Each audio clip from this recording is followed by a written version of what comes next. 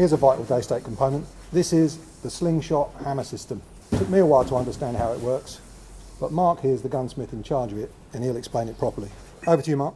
Okay, once the hammer's cocked, it's in its start position, hammer body flies forward, inertia weight hits the valve, activates, shot taken. The whole purpose of this is to do away with valve bounce because you don't have Yeah. a spring in there No. to throw the hammer back onto the valve, hit the valve repeatedly, and waste air. How effective is that compared to a standard? It probably gives about 40% more shots. That is an incredible development. That's another Steve Harper It is, yes. piece of genius, isn't it? Just to get a grip on how fast this all takes place, here it is in real time in a cutaway action. Okay, Mark. Hammer's cocked, locked down, watch it fly forward.